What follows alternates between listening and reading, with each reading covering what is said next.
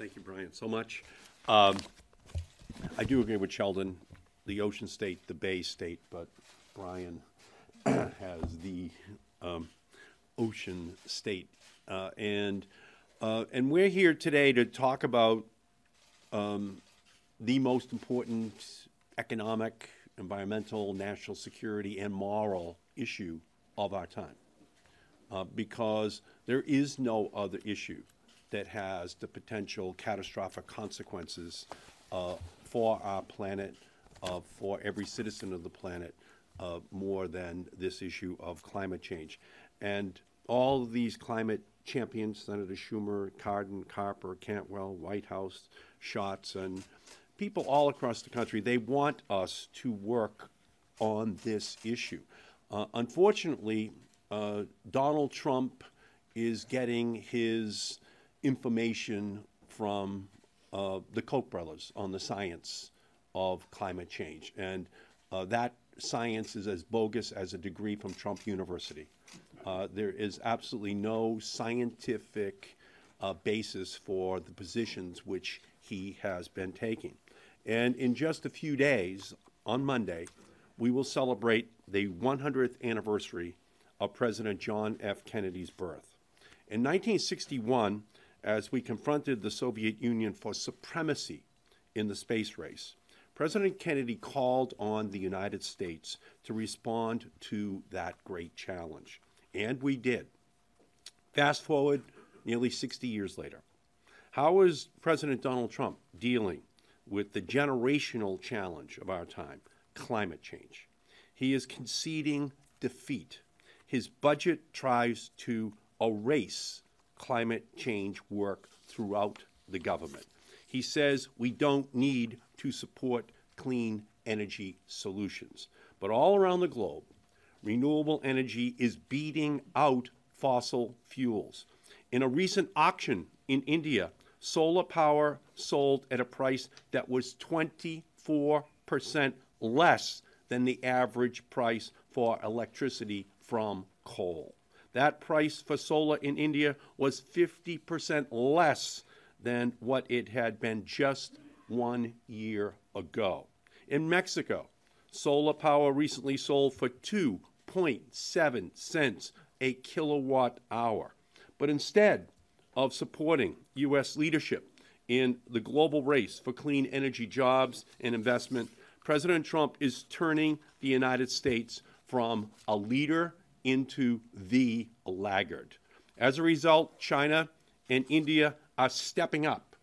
India is now expecting to obtain 40 percent of its electricity from non fossil fuel sources by 2022, eight years ahead of schedule. And China's carbon emissions appear to be peaking way ahead of schedule. The global commitment to addressing global warming is well underway. We were the leader. We will, under Donald Trump, become the follower. In 1961, we had the president challenging American industry to respond to the challenge of the space race. Today, it is American companies challenging our president. Companies from Apple to GE to National Grid to Microsoft are calling on President Trump to keep the United States in the Paris Climate Agreement. It is the Kennedy era turned upside down. It is JFK in reverse. President Trump says we can't meet this challenge, but the private sector says we can. It is downright un American for a president to abdicate American leadership to the great challenges facing our planet.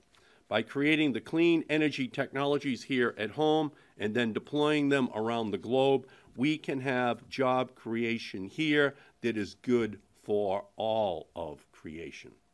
But if we don't respond, we will lose the mantle of global leadership. We are at a crossroads in our planet's history. The world has come together in support of the Paris Climate Agreement.